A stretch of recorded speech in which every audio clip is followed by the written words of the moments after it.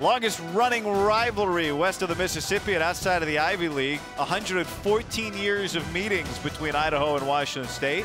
Idaho had won four of the last five, but the Cougs back on the winning side of the ledger because they had two 20-point performances. First, C.J. Elleby, the second 20-point game of his young career. Well, and that play right there is emblematic of the Cougars' evening. Elleby playmaking, shot making, using his size and skill to help the Cougars' cause, and he has been on a roll.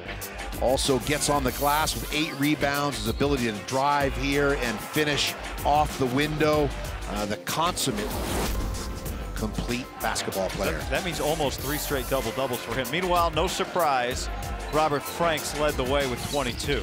Well, the steady hand, Franks, uh, the ability at six foot nine to influence the game at both ends, uh, comfortable, at peace, and confident from long distance, uh, but can also slide inside where he can finish in the basket area. This is a dynamic duo when you look at Elleby and Franks.